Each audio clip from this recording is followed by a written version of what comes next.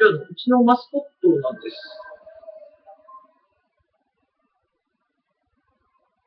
名前がまだ決まってません。誰か、どなたか、この子に名前を付けてあげてください。よろしくお願いします。春町のマスコットです。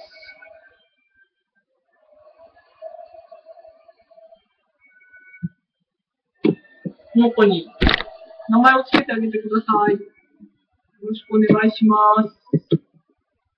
僕に名前を、僕に名前を付けてって。よろしく。